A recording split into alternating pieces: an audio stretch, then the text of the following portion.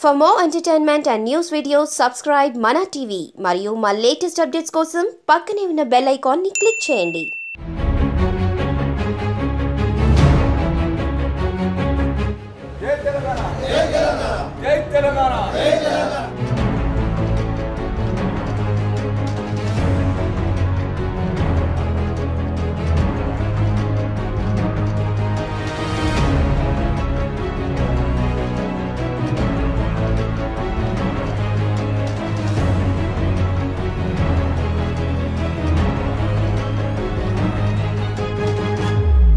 ఏం పాపం చేసాడు కేసీఆర్? తెలంగాణ తెచ్చినందుకు దించాలనా ఇరవై నాలుగు గంటల కరెంటు రైతులకు ఇండ్లకు ఇచ్చినందుకు దించాలనా సాగునీళ్ళు ఇచ్చినందుకు దించాలనా రైతు బంధు పథకం తెచ్చి రైతులకు ఎదురు పెట్టుబడి ఇచ్చినందుకు దించాలనా కళ్యాణ లక్ష్మి ఇస్తున్నందుకు దించాలనా వెయ్యి రూపాయలు ఇచ్చే పెన్షన్ రేపు సంక్రాంతికి రెండు వేల పదహారు చేస్తా అన్నందుకు దించాలనా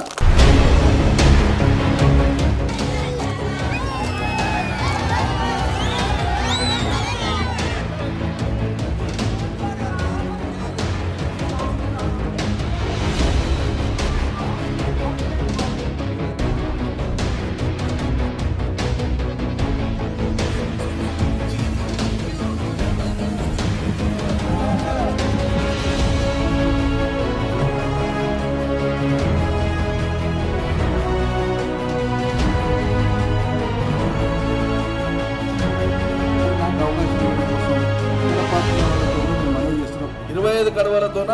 నాలుగు లక్షల ఎకరాలు పారదు కాబట్టి నలభై కడవల నీళ్ళు కావాలని ముఖ్యమంత్రి గారికి చెప్పి నేను కేబినెట్ ఆమోదం చెప్పించిన రాష్ట్ర మంత్రిమండలి తీర్మానం చేసింది.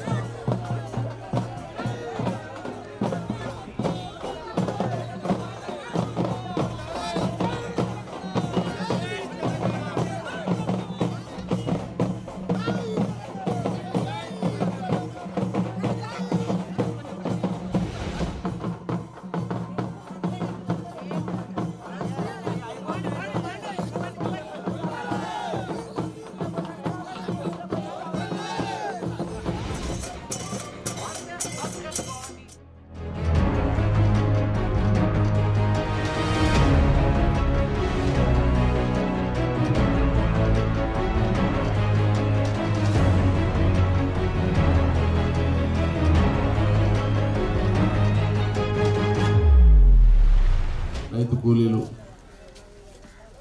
ఈ గ్రామ టీఆర్ఎస్ పార్టీ నాయకులు కార్యకర్తలు మండల పార్టీ నాయకులు కార్యకర్తలు సోదరు సోదరులు ఎంపీపీ గారు మిగతా అందరికీ చేతులు ఎత్తి నేను శిరస్సు వచ్చి మీ అందరికీ నమస్కారాలు తెలియజేస్తున్నా.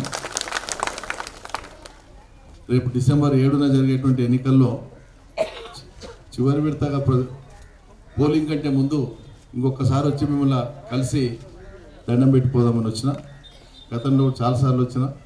మీటింగ్ చేసినాం విజ్ఞప్తి చేసినాం మీ అందరికీ కూడా విషయాలన్నీ కూడా చెప్పిన. ఇంకొకసారి మీ ఆశీర్వాదం మళ్ళా చివరిసారిగా కలిసి పోలింగ్ కంటే ముందు మళ్ళీ చాలా గ్రామాలు ఉన్నాయి తిరగడం సమయం సరిపోదేమో అన్న ఉద్దేశంతో ఒకసారి కలిసి దండబెట్టిపోదామని వచ్చిన. మీ అందరూ కూడా నిన్న నిన్న మన కేసీఆర్ సభ నాడు కూడా చాలా పెద్ద ఎత్తున వచ్చినారు మీరు అందరూ కూడా ఈ గ్రామంకి వెళ్ళి మీ అందరికీ నేను కృతజ్ఞతలు తెలియజేస్తున్నా. చిన్న పొరపాటు కూడా జరగకుండా మొత్తానికి మొత్తం గ్రామం గ్రామమే యావత్తు ఈసారి కేసీఆర్కు టీఆర్ఎస్కు కారు గుర్తు ఓటేసి ఆశీర్వదించాలని మిమ్మల్ని అందరినీ కూడా ప్రార్థిస్తున్నాం. మనం ఇప్పుడు వేసేటువంటి ఓటు నేను ఇంతకుముందు చెప్పినట్లు తెచ్చుకున్న మన తెలంగాణను కాపాడుకొని చేయాలి పిల్లని కానీ నాలుగేండ్లు కాగానే మందికి ఇయ్యం. ఎడబీళ్ళు అయ్యి ఒక ఇంటోళ్ళు అయ్యి ఆడబిల్లు అయితే ఎడబీళ్ళు అయ్యి ఒక ఇంటికి ఇచ్చి మంచళ్ళు వచ్చి రాక్షసులాగా పడిపోయింది ఆంధ్రోళ్ళంతా అందరూ ఒకటి అయిపోయింది అందరికి అందరు ఆయన తెలంగాణ తెచ్చుకుందాం రాని కలిసి రాండి అంటే మాత్రం ఆయన ఒక్కడు కూడా దారికి రాలే చేయికి రాలే. మాకు మాకు పడదు. మేమేం కలవం. వాళ్ళు వేరు మేము వేరు. పాము ముగిస లాంటి వాళ్ళం మేము. మేము ఎట్లా కలుస్తాం? అని దీర్ఘాలు దీర్ఘాలు తీసి మాట్లాడాను వెనకటికి. కానీ మనకి అలా తెలంగాణ మనది మనం బాగు చేసుకుని నాలుగు అడుగులు ముందరికేసి పోతున్నాం అంటే వాళ్ళు ఓర్వలేకపోతున్నారు.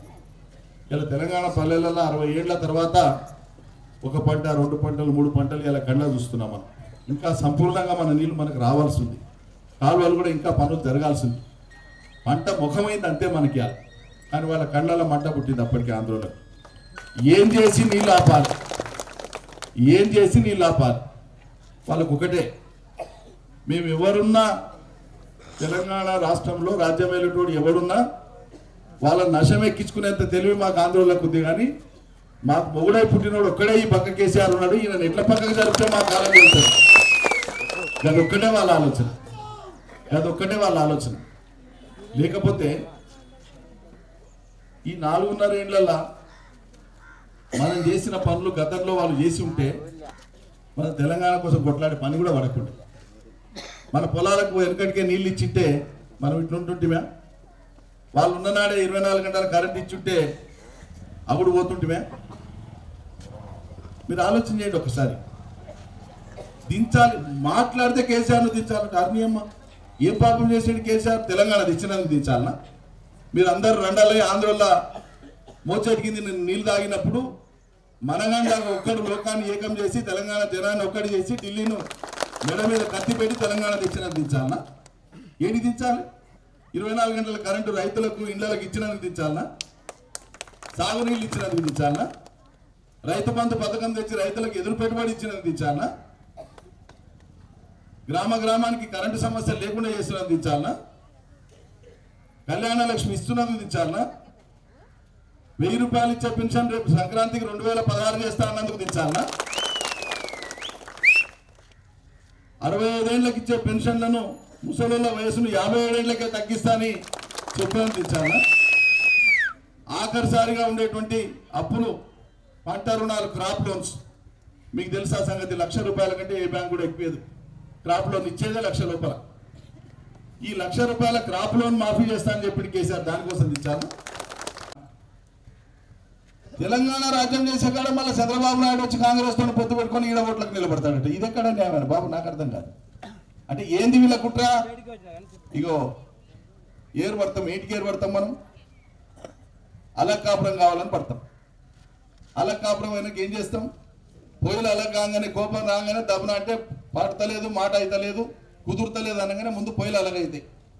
తర్వాత ఏమైతే కాపురాలు తాడు తలుగు చాటను గిన్నెను పొలము ఆవు బరెను భూమి పంపిణీ వారం పది దినాల పెద్ద మనుషులు చేస్తారు. తెగినాక కట్టుకోవాలంటే ఇంకా రెండు మూడేళ్ళ తర్వాత మనం మొదలు పెట్టాలి. అంటే ఇంకా రెండు మూడేళ్ళ వరకు కృష్ణానదిలో ఉన్న నీళ్ళు కిందికి పోవాలి. మీకు అర్థమైందని చెప్పేది? కానీ మీరు ఏకమైన ఉద్దేశము మా నీళ్ళను దొంగిలించడానికి అనే విషయం మాకు అర్థమైంది కాబట్టి మీకు ఇక్కడ తెలంగాణలో ఓట్లు లేవని చెప్తున్నా. మీరు చెన్నారం గ్రామ ప్రజలు నిర్ణయించాల్సింది ఇప్పుడు ఓటు నిరంజన్ రెడ్డికా రాజుకా శ్రీనివాస్ రెడ్డికా ఇంకోరికా కాదు ఇది. ఈ ఓటు ఇవాళ మన కళ్ళ చూస్తున్నటువంటి ఈ నీళ్ళు రేపటికి వందేళ్ళ వరకు కూడా మన నీళ్ళు మనకే దక్కాలంటే రేపు డిసెంబర్ ఏడున ఒక్క ఓటు అవతల పార్టీకి పోతుంది. మీరు ప్రమాణపూర్వకంగా రాసి పెట్టుకోండి. మీకు ఎవరి మీద పడకపోతే ఏ వాడు పడాడు వాడు అవతల తిరుగుతుండేసి నేను అందుకని ఇవతలకేస్తా అనుకోకండి. మనం మన భావితరాల వాళ్ళ ప్రార్థన పట్నంలో ఉన్న వాళ్ళైనా ఇంగాడు ఉన్న వాళ్ళైనా అందరినీ మీ పిల్లలందరినీ పిలిపియండి మీ కుటుంబ సభ్యులను పిలిపియండి. ఒక్క ఓటు పొరపాటు పోకుండా టీఆర్ఎస్కి ఇంకో ఐదేళ్ళు కేసీఆర్ చేస్తాయంటే మీ కడుపులో అంతా కసిపిచ్చేది కానీ. కూడా వాళ్ళకు కూడా నేను చేతులు ఎత్తి నమస్కరించి విజ్ఞప్తి చేస్తున్నా. మీరు గతంలో ఏలిండ్రు మీరు చాలాసార్లు అవకాశం ఇచ్చిండ్రు. ఈసారి చూడండి. ఎందుకు గుడ్డిగా పోతారు? ఎందుకు కక్షతో ఉంటారు? నిన్నటిదాకా ఎమ్మెల్యే ఉన్నాయని నాలుగు సార్లు గెలిచిండు. నాలుగు ఎకరాలకు నీళ్ళు తేలే. మీ కండ్ల ముందున్న నిజం చెప్తున్నానే ఈ నాలుగున్నరేళ్ళు నేను తిప్పలబడి ముఖ్యమంత్రి గారి ఆశీస్సులతోన నీళ్ళ మంత్రి చొరవతోన కొత్త ప్రాజెక్టులను మంజూరు చేయించినాం పెద్ద మందడికి గణపురానికి మనకు ముందలికి పోయేటివి ఇటు పానగల్ దిక్కుపోయేది అటు వనపడి దిక్కుపోయేటివి ఇవన్నీ కూడా. డెబ్బై వేల ఎకరాలకు నీళ్ళు వచ్చే ఇంతజాం చేసినాం. ఇంకో డెబ్బై డెబ్బై ఐదు వేల ఎకరాలకు వచ్చే ఏడాదిలా ప్లాన్ చేస్తున్నాం. ఏదైనా రిజర్వాయర్కి వెళ్ళి ఒక ముప్పై ఐదు నలభై వేల ఎకరాల నీళ్ళకు తీసుకోనికి ఆ నీళ్ళని తీసి ఈ డిఐటి కలపనికే లింకింగ్ కెనాల్ కూడా ప్లాన్ చేస్తున్నాం. ఈ నాలుగున్నర ఏండ్లు నేను చేస్తున్న పని ఏంది? గ్రామ గ్రామం తిరిగి రైతాంగాన్ని ఏకం చేసి ఏడ నీటి ఆపద ఉందంటే ఆపద ఎట్లా తీర్చాలని తెల్లార్లు పగళ్ళు ఈ బుగుల మీద నేను పనిచేస్తున్నా. కానీ నిన్నటిదాకా ఎమ్మెల్యేగా ఉన్నటువంటి మనిషి చేసిన పని ఏంది? లారీల లారీల చీప్ లిక్కర్ తెచ్చి పెద్దమందడి మండలంలో డాకల కాడ ఒక ఫామ్లో దాపెడతానంటే పోలీసు వాళ్ళు పోయి చీప్ లిక్కర్ పట్టుకున్నారు. ఓ దొంగ దొరికిపోయింది అలా. నీళ్ళు చేత చేతగాలే చీప్ లిక్కర్ ఇచ్చి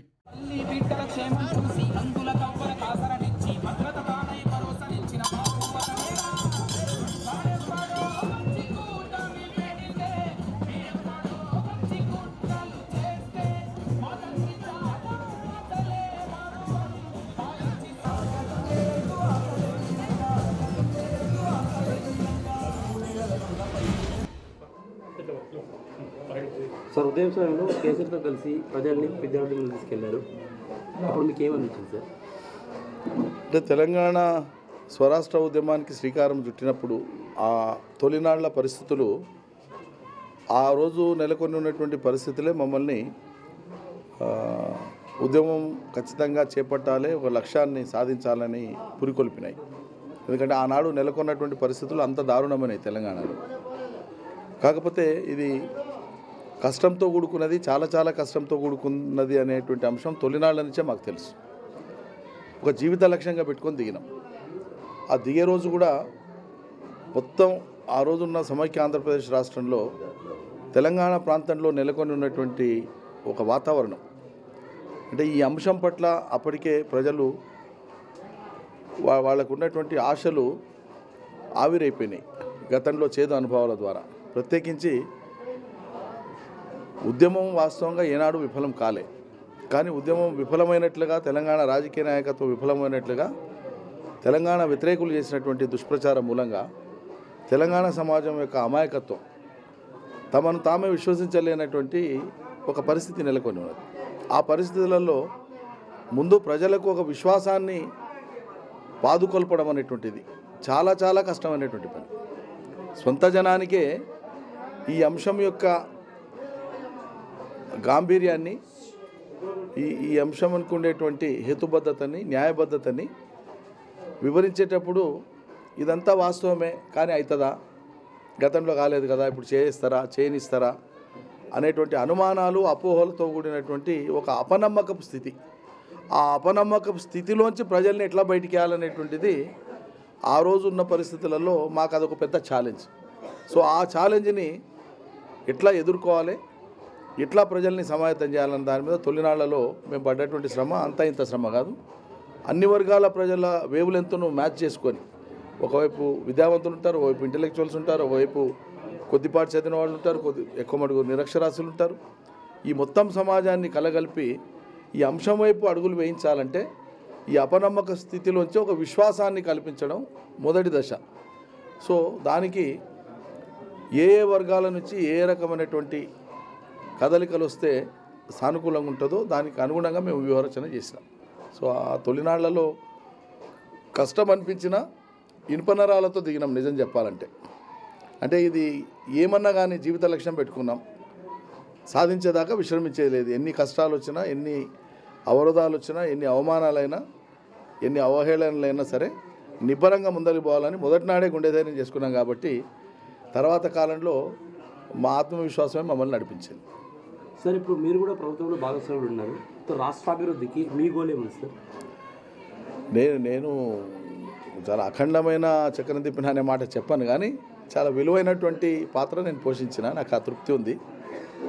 నాకు ఇచ్చినటువంటి బాధ్యత ద్వారా గౌరవ ముఖ్యమంత్రి గారికి కానీ ప్రభుత్వంలో కానీ అవసరమైనప్పుడు సందర్భోచితమైనటువంటి నా సూచనలు సలహాలు కావచ్చు లేకుంటే నా పని కావచ్చు ఇతోధికంగా అది తోడ్పడ్డది. అదేవిధంగా ఉమ్మడి పాలమూరు జిల్లాకు నాకు ఇచ్చినటువంటి బాధ్యత చాలా ఎక్కువగా తోడ్పడ్డది.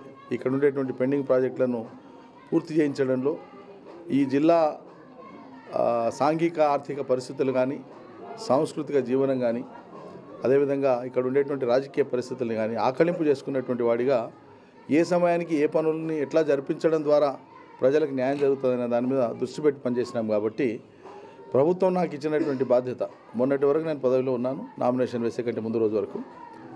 ఆ తర్వాత రాజీనామా చేసినాను. ఎన్నికల్లో నిలబడాలనే ఉద్దేశంతో. సో దాదాపు నాలుగేళ్ళు ఆ పదవిలో ఉన్నాను దాదాపు. ఆ నాలుగేళ్ళ కాలంలో ఈ జిల్లాకు ప్రతిష్టాత్మకమైనటువంటి విద్యాసంస్థలు తీసుకురావడంలో నాది కీలకమైన పాత్ర. తొలి వ్యవసాయ కళాశాల తెలంగాణ ప్రభుత్వం మంజూరు చేయించిన నేను. అది నాగర్ ప్రస్తుత నాగరికం జిల్లాలో వస్తుంది. పాలెంలో పెట్టించినాను. తర్వాత తొలి ప్రభుత్వ మెడికల్ కళాశాల నాతో పాటు మిగతా ఇద్దరు మంత్రులు ఎంపీ వాళ్ళ పాత్ర ఉంది. అందరం కలిసి తొలి మెడికల్ కళాశాల ఏర్పాటు చేయించినాం. నా ప్రయత్నంతో జరిగినటువంటిది తొలి ఫిషరీస్ సైన్స్ కళాశాల అది నా కాన్స్టిట్యూన్సీలోనే వచ్చింది పేపర్లో పెట్టించినాను. అనేక రెసిడెన్షియల్ స్కూళ్ళు వచ్చినాయి అనేక కొత్త రోడ్లు వచ్చినాయి పంచాయతీరాజ్ కానీ ఆర్ఎండ్బి రోడ్స్ కానీ ఇరిగేషన్ ట్యాంక్స్ కానీ కేఎల్ఐ ఆన్లైన్ కొత్త రిజర్వాయర్స్ కానీ ఇట్లా చెప్పుకుంటూ పోతే చాలా చాలా పనులు చేసినాం. సో ఈ నాలుగేళ్ళలో నాకు ఇచ్చినటువంటి బాధ్యత ద్వారా చాలా చాలా తృప్తి ఉంది. ఒక బాధ్యత వస్తే సంకల్పం ఉంటే చిత్తశుద్ధి ఉంటే ఇన్ని పనులు చేయవచ్చు అనేటువంటి నేను రుజువు చేసిన. ఆ తృప్తి ఎక్కువ ఉంది నాకు. సో ఇప్పుడు సాగుడి ప్రాజెక్టులు ఎప్పటిలో పూర్తవుతాయి సార్? మనం తలపెట్టిన సాగునీటి ప్రాజెక్టులు ఇప్పుడు ఏదల తలపెట్టినాం పాలమూరు రంగారెడ్డిలో అంతర్భాగంగా రిజర్వాయర్ నిర్మాణం దాదాపు పూర్తయింది. పంప్ హౌస్ సర్జిపూల్ ఇంకో ఏడాది ఏడాదిన్నరలో పూర్తి అయిపోతాయి మొత్తం పాలమూరు రంగారెడ్డి రేపు ప్రభుత్వం ఏర్పడినాక ముఖ్యమంత్రి గారు ప్రత్యేక బాధ్యత తీసుకుని ఎందుకంటే నిన్నటిదాకా కాళేశ్వరం ఫోకస్. పైగా పాలమూరు రంగారెడ్డి మీద ఈ కాంగ్రెస్ పార్టీకి సంబంధించినటువంటి వాళ్ళు అదేవిధంగా ఆంధ్ర శక్తులు కొన్ని కేసులు వేసి పాలమూరు రంగారెడ్డిని తాత్కాలికంగా నిలుపుదల చేసినారు. రేపు ఎన్నికల తర్వాత ముఖ్యమంత్రి గారు దాని మీద ప్రత్యేక శ్రద్ధ వహించి స్పెషల్ టాస్క్ పెట్టుకొని పాలమూరు రంగారెడ్డిని ఒక రెండేళ్ళు ఇటు అటుగా పూర్తి చేయాలన్న సంకల్పంతో ఉన్నారు. అది ఒకసారి పూర్తి అయితే పది లక్షల ఎకరాలకు నీళ్ళు వస్తాయి. తర్వాత ఇప్పుడు ఆన్గోయింగ్ ప్రాజెక్ట్స్గా ఏవైతే ఉన్నాయో కలవకుర్తి భీమా నెట్టెంపాడు కోయిల్ సాగర్ అత్యధిక శాతం మేజర్ పనులు పూర్తయినాయి. మైనర్ వర్క్స్ ఉన్నాయి. ఫీల్డ్ కెనాల్స్ కానీ చిన్న చిన్న డిస్ట్రిబ్యూషన్ నెట్వర్క్ కానీ అవి పెండింగ్లో ఉన్నాయి అవి ఈ సమ్మర్లో వచ్చే వర్షాకాలం లోపల వీలైనంత వేగంగా చేయించే పని మీద ఉన్నాం. చివరిగా సార్ మా తెలంగాణ జిల్లా నుంచి వేరే దేశంలో ఉన్న ఎన్ఆర్ఎల్కు మీరు ఇచ్చే సందేశం ఏంటి? ఎన్నికల సమయంలో. విశాల హృదయంతో ఆలోచించాలి. కులాలకు మతాలకు అతీతంగా ఆలోచించాలి. ఖండాంతరాల్లో ఉండేటువంటి వాళ్ళు మరింత ఉదాత్తతను చూపించాలి ఏ లక్ష్యం కోసం తెలంగాణ సమాజం ఆరు దశాబ్దాల పాటు పోరాటం చేసిందో ఆ పోరాట లక్ష్యానికి తూట్లు పడేటట్లుగా ఎవరు వివరించొద్దు అనేటువంటిది నా ప్రార్థన మొట్టమొదలు. రెండు తెలంగాణ ఉద్యమానికి రెండు ప్రధాన లక్ష్యాలు ఉన్నాయి ఒకటి రాష్ట్ర సాధన రెండు పునర్నిర్మాణం. రాష్ట్ర సాధన చాలా విజయవంతంగా చేసుకున్నాం. అది వ్యతిరేకులు శత్రువుల యొక్క అంచనాలను తలదన్ని సగర్వంగా చరితార్థకం చేసినాం తెలంగాణ రాష్ట్ర ఏర్పాటును. అది ప్రజలందరికీ గర్వకారణం ఎన్ఆర్ఐలకు కూడా గర్వకారణం. ఎందుకంటే వాళ్ళు కూడా అభిలషించినారు రాష్ట్రం ఏర్పడాలని. వాళ్ళకు తోచిన రీతిలో వాళ్ళు కూడా ఉద్యమానికి సహకరించినారు. ఏ పద్ధతిలో వీలైతే ఆ పద్ధతులు. సో ఇప్పుడు పునర్నిర్మాణం జరిగే టైంలో నాలుగున్నరేళ్ళు మాత్రమే అయింది ప్రభుత్వం తన పైన మొదలుపెట్టి. ఈ నాలుగున్నరేళ్ళ కాలంలోనే వందేళ్ళలో జరగాల్సినటువంటి పని జరగలేదు అనేటువంటి ఆ ఆతృతకు లోనై సెల్ఫ్ గ్లోరిఫికేషన్ను మర్చిపోతుంటున్నాను అంటున్నాను నేను. స్వీయంగా మన శక్తిని మనం కొనియాడడంలో కానీ మన గొప్పతనాన్ని మనం ప్రపంచానికి తెలపడంలో కానీ మన శక్తి ప్రదర్శన చేయడంలో కానీ చేసిన పనులు ప్రపంచానికి వాటిని విస్తృతపరిచి ఇది చేయగలిగినాం రేపు ఇవి చేస్తామని చెప్పే స్థితిని కానీ ఈ గ్లోరిఫికేషన్ అంటారు దాన్ని. స్వయం పాలనలోంచే సెల్ఫ్ గ్లోరిఫికేషన్ మొదలవుతుంది ఎప్పుడైనా. స్వయం పాలన లేని చోట బానిస మనస్తత్వం ఉంటుంది. అందుకే నిన్నటిదాకా తెలంగాణ రాష్ట్రం రానంత వరకు తెలంగాణ ప్రాంతంలో ఉండేటువంటి రాజకీయ నాయకత్వానికి కూడా బానిస లక్షణం ఉండడానికి కారణం ఏంది పరులు చెప్పినట్లు వినాలి మా పార్టీలు చెప్పినట్లు వినాలి మా నాయకులు చెప్పినట్లు వినాలన్న దానికి హేతు ఏంటంటే పరాయీకరణలో బానిసత్వం అలవడుతుంది మనిషికి. స్వీయ పరిపాలనలో స్వతంత్రత వస్తుంది సెల్ఫ్ గ్లోరిఫికేషన్ వస్తుంది. ఇలా సెల్ఫ్ గ్లోరిఫికేషన్ మర్చిపోద్దంటారు నాలుగున్నరేళ్ళ కాలంలో భారతదేశం విస్తుపోయేటువంటి కార్యక్రమాలు ఇతర రాష్ట్రాలకు ఆదర్శప్రాయమైన కార్యక్రమాలు ఇక్కడ అమలైతే వీటి గొప్పతనాన్ని ఆస్వాదించాలి.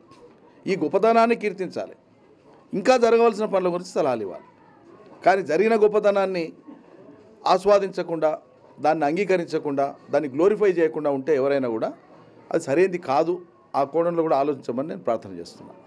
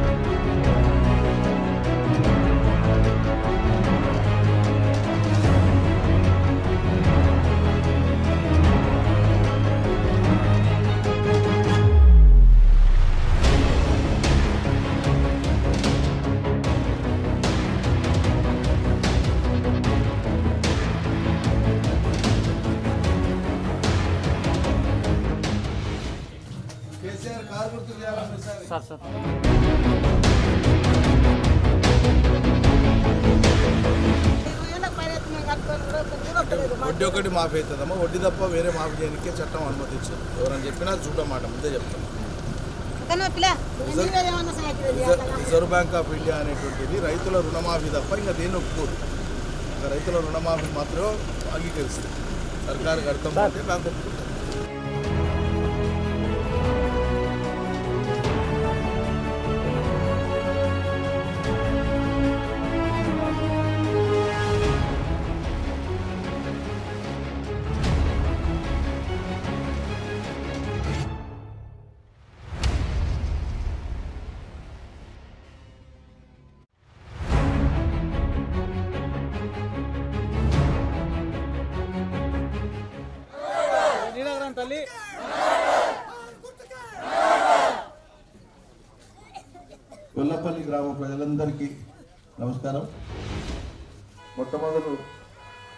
నిన్నగాక మొన్న వనపర్తిలో జరిగినటువంటి కేసీఆర్ సభకు గొల్లపల్లి ఊరు ఊరంతా లేచి వచ్చి ఆ సభకు హాజరయ్యేందుకు మీ అందరికీ చేతులు నేను నమస్కరిస్తున్నా.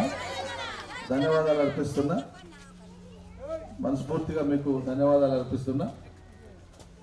రేపు డిసెంబర్ ఏడు నాడు కూడా అదేవిధంగా పొల్లు పోకుండా ఊరు ఊరంతా ఏకపక్షంగా నన్ను దీవించి కేసీఆర్ గారు రాష్ట్రంలో అధికారంలోకి రావడానికి సహకరించవలసిందిగా మీ అందరినీ మరొకసారి కోరుదామని వాళ్ళ మీ గ్రామానికి వచ్చిన. అరవై ఏళ్ళు వాళ్ళకి అవకాశం ఇచ్చినాము. ఇంకోసారి కేసీఆర్కి మనం అవకాశం ఇస్తే ఇప్పుడు నీ చేసిండు. కరెంట్ ఇచ్చిండు ఇరవై నాలుగు గంటలు పెన్షన్లు ఇస్తున్నాడు నీళ్ళు ఇచ్చిండు ఇరవై నాలుగు గంటల సేద్యానికి కరెంట్ ఇచ్చిండు రైతులకు ఎదురొచ్చి పెట్టుబడి ఇచ్చిండు. కాంగ్రెస్ పార్టీకి గతంలో చాలాసార్లు అవకాశం ఇచ్చినాం. మీ గ్రామంలో కానీ ఇతర గ్రామాల్లో కానీ తెలుగుదేశానికి రెండుసార్లు కాంగ్రెస్కు నాలుగు సార్లు ఈ ముప్పై ఏళ్ళ కాలంలో మీరు అవకాశం ఇచ్చినారు. ఈసారి నాకు అవకాశం ఇవ్వడం కోసం ఇతర పార్టీల వాళ్ళతో కూడా నేను మనవి చేస్తున్నా ప్రార్థన చేస్తున్నా. ఈ ఒక్కసారి నా కేసు చూడండి. మీ వాళ్ళకి వేసుకున్నప్పుడు ఎట్లా ఉండేనో అంత పదంతలు నేను చూసి చేసి చూపకపోతే అప్పుడు చూతురు కాదు. నాకు అవకాశం లేదు మా వాళ్ళంత ఎట్లా? మెజార్టీ నా దిక్కు మళ్ళీ కొద్దిమంది మీరు అవతలకుండి ఎందుకు చిన్నపోతారు? మీరు కూడా నా వాళ్ళు కానీ అని చెప్తున్నా అవతల వాళ్ళు మంచి కదా. వాళ్ళు కూడా ఎట్లా రాండి అని చెప్తున్నా. మనం మన దిక్కు మనం అందరం ఏకపక్షం కాకపోతే రేపు ఆందోళనలు ఏమంటారు? ఫలితాలు వచ్చి మనం గెలిచినాక కూడా వాళ్ళ వాళ్ళ మొదటి నుంచి ఒకటే. కింద పడ్డా పైకాలు నాదే అంటారు వాళ్ళు. లేకుంటే పైసేయి నాదే అంటారు. కింద పడ్డాక కూడా ఓడిపోయినాక కూడా అట్లే అంటారు వాళ్ళు. రేపు మనం గెలిచేది ఖాయం. టీఆర్ఎస్ గెలిచేది ఖాయం. పదకొండు తారీఖు నాడు ఈ టైం కల్లా ఫలితాలు వస్తాయి. మీరే చూస్తారు. కేసీఆర్ పార్టీకి అఖండమైన మెజార్టీ వచ్చింది రాష్ట్రంలో ప్రభుత్వం ఏర్పాటు. మరి చంద్రబాబుతో పొత్తుకూడిన కాంగ్రెస్కి ఎందుకు వేయాలండి మనం? ఏంటికి వేయాలి అంటున్నా? ఇక అదొక్కటే ముచ్చట ఆలోచన చేయండి. వేరే ఏం లేదు దీంట్లో. ఇప్పుడు ఏమవుతుంది మీ నెత్తికాడనే ఉంది ఏదుల రిజర్వాయర్? పాలమూరు రంగారెడ్డిలో భాగంగా కట్టినాం. ఇప్పుడు దాంట్లోకి నీళ్ళు రావాలి. మీరు నీళ్ళు తీసుకుంటే నాకు ఆంధ్రాకి తక్కువైతాయని చంద్రబాబు నాయుడు కోట్ల కేసేసి. నీళ్ళ పంపిణీ కాలే. తెలంగాణకి ఎన్ని కడవలు ఆంధ్రకి ఎన్ని కడవలు నిర్ధారణ కాలే. నీళ్ళన్నో తేల్చనికే ఇంకా రెండు మూడేళ్ళు పడుతుంది. అంటే రెండు మూడేళ్ళు మనం పని చేయకపోతే ఆ ఏట్లో ఉన్న నీళ్ళు ఎక్కడ పోతాయి? ఎక్కడ పోతాయి? అర్థమైందా మతలం మీకు? నీళ్ళు ఆంధ్రకే పోతుండాలి ఇక్కడ తెలంగాణ జనం మాత్రం మాకు కడుతున్నారు కడుతున్నారు వచ్చారా వచ్చారా అని నోట్ల నీళ్ళు ఉన్నట్లు మనం ఎదురు చూసుకుంటా కూర్చోవాలి. నీళ్ళు పోయేది మాత్రం వాళ్ళకి పోతుండాలి. ఇలా మనం తీసుకుంటున్నాం. ఇంకా కాలువలు కూడా కొన పూర్తి కాలే. ఇప్పుడు మనం ఏదల రిజర్వాయర్ కట్టినాం దాదాపు ఆరు వందల యాభై కోట్ల రూపాయలతోన ముప్పై ఏళ్ళు జూరాల కట్టినారు అంతే అంతే నీళ్ళు ఆగుతాయి. ఏదలలో ఇప్పుడు రేపు పొద్దున ఎన్ని నీళ్ళు ఆగుతాయో జూరాలలో ఇప్పుడు ఆగుతున్న అన్ని నీళ్ళు కూడా గన్నే. జూరాల కట్టడానికే ముప్పై ఏళ్ళు తీసుకున్నారు వాళ్ళు. ముప్పై ఏళ్ళు ఎక్కడ? రెండేళ్ళ లోపు ఎక్కడ? కట్టిపించినాం పార్టీ అని మీరు అక్కడ ఇస్తే ఇగో మీ పిల్లల నుదుటి మీద మీరే దురదృష్ట రేఖ గీసినట్లయితుంది. ఇప్పుడు ప్రజలు కోరింది చేయకున్నాం కానీ ప్రజలు వద్దన్న చేయడానికి మేమే కావాలన్నా. నేను చెట్టు కింద మాట ఇచ్చిపోతున్నా మీ ఊరిని ముట్టుకునే ప్రసక్తే లేదు.